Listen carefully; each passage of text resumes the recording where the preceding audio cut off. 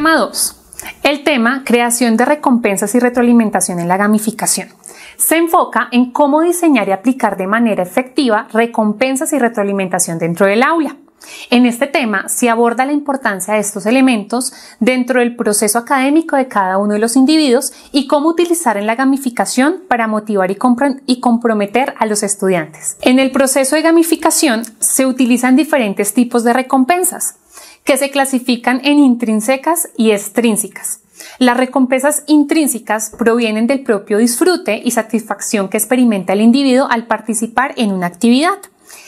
Estas recompensas están relacionadas con aspectos emocionales y psicológicos y son fundamentales para el compromiso y la motivación a largo plazo. Entre las recompensas intrínsecas se encuentra el sentimiento de logro, la autonomía para elegir las actividades, el placer de mejorar habilidades y aumentar la competencia, la curiosidad para explorar y descubrir nuevos conocimientos y la satisfacción de conectarse socialmente con otros estudiantes. Por otro lado, las recompensas extrínsecas son externas a la actividad en sí y se otorgan como incentivos para motivar a los estudiantes a participar o alcanzar ciertos objetivos, aunque pueden generar un aumento temporal en la motivación. Su efecto puede disminuir en el tiempo si no se combinan adecuadamente con recompensas intrínsecas. Algunos ejemplos de recompensas extrínsecas son otorgar puntos por completar tareas o desafíos, entregar medallas o insignias por logros específicos, reconocer formalmente con certificados o diplomas para completar ciertos niveles, ofrecer premios físicos y permitir la personalización de avatares o perfiles virtuales a medida que los estudiantes avanzan en el proceso de gamificación. En el diseño de la gamificación es importante encontrar un equilibrio adecuado entre recompensas intrínsecas y extrínsecas. Si bien las recompensas extrínsecas pueden aumentar la participación inicial, las recompensas intrínsecas son esenciales para mantener la motivación y el compromiso a largo plazo en el proceso de aprendizaje. Además de lo anterior, se trabaja en la creación de sistemas de retroalimentación que proporcionen una respuesta en tiempo real a los estudiantes para el fomento a la mejora continua y retroalimentación en la gamificación educativa. Por lo tanto, para crear un sistema de retroalimentación que proporcione respuestas en tiempo real a los estudiantes, se utilizan diversas herramientas y enfoques tecnológicos. Algunas sugerencias para implementar un sistema eficiente de retroalimentación en tiempo real son las siguientes. Plataformas de aprendizaje en línea que permiten a los estudiantes acceder a materiales y actividades interactivas.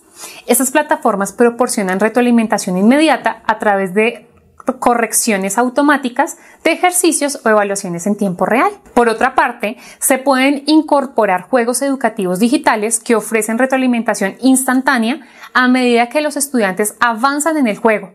Estos juegos brindan explicaciones o pistas en el momento en que los estudiantes se enfrentan desafíos o cometen errores. Asimismo, se pueden implementar sistemas de respuestas en el aula que permiten a los estudiantes responder preguntas durante las clases en tiempo real. Los docentes pueden ver las respuestas de los estudiantes al instante y ofrecer retroalimentación en función de los resultados. Se utilizan aplicaciones de mensajería o chats en líneas para que los estudiantes puedan hacer preguntas o solicitar retroalimentación en un tiempo real. Los docentes o tutores pueden responder rápidamente y brindar un apoyo individual. También se crean foros o comunidades en línea donde los estudiantes interactúan y hacen preguntas relacionadas en el contenido del curso. Los docentes y otros estudiantes proporcionan respuestas y retroalimentación en tiempo real. Se permite diseñar evaluaciones en línea con corrección automática para que los estudiantes reciban resultados y retroalimentación inmediata después de completar cada evaluación. Durante actividades prácticas en el aula, como debates, ejercicios de resolución de problemas o proyectos, se proporciona retroalimentación a los estudiantes mientras trabajan.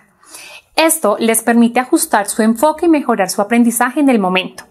Es importante recordar que el objetivo del sistema de retroalimentación en el tiempo real es proporcional información valiosa a los estudiantes en el momento oportuno para que puedan mejorar su aprendizaje y comprensión.